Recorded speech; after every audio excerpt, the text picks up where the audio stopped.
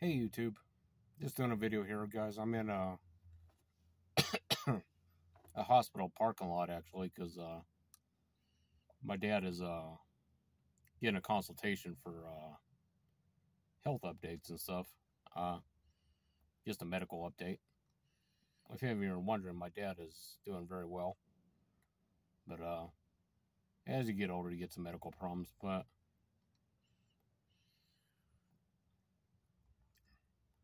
Anyway, guys, I am smoking a Peterson pipe.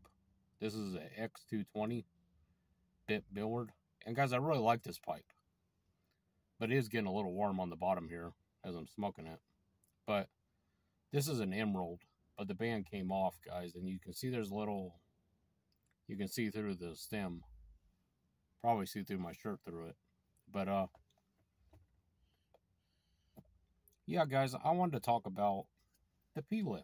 You know, uh, do you guys prefer what the fishtail or the P-lip?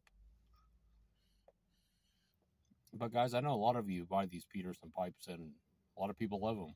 I I do like the this pipe, but guys, I had a couple Petersons. Uh, it broke on me. Not recently, but like about a year ago. And uh, they didn't have the P-lips on them, but I noticed that the P-lips are actually holding up better than the fishtails. And I don't use a rubber bit, guys. You can see clench marks on there because I don't use the rubber bits. I just don't like to use them. But this is a chunky pipe, guys. And, uh,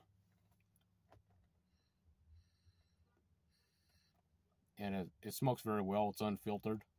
Um, but it does have a, a reddish, um, you know, uh, nameplate on there.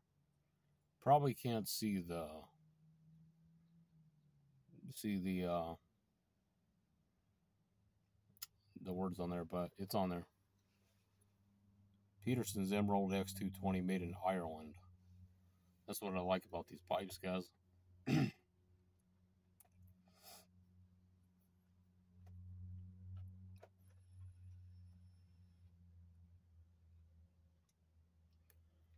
anyway, guys, uh,